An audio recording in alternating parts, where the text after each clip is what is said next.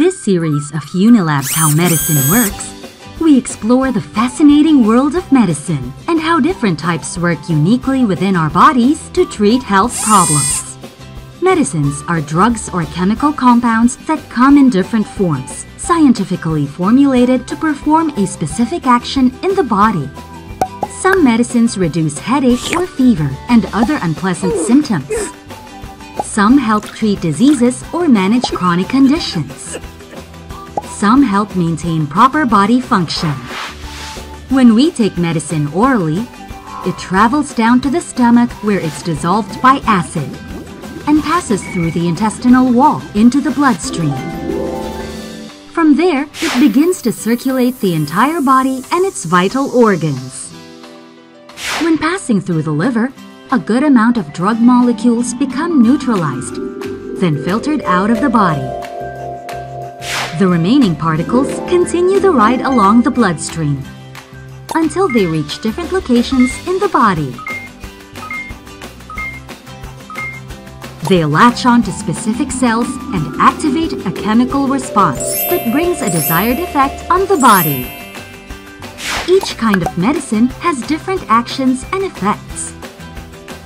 For example, pain relievers block pain signals from reaching the brain, so we stop feeling the aching sensations in our head and body muscles. Mucolytics relieve cough characterized by excessive or sticky phlegm by helping expel the phlegm out of the body.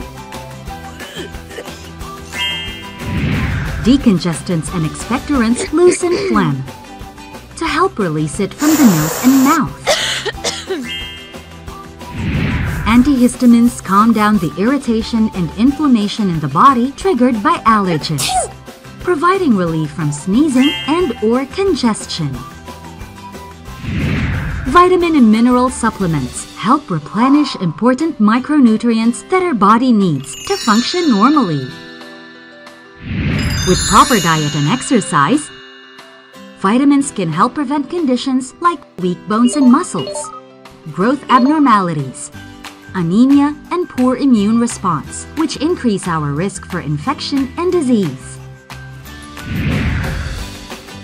There are many medicines for common ailments such as headache, fever, and pain,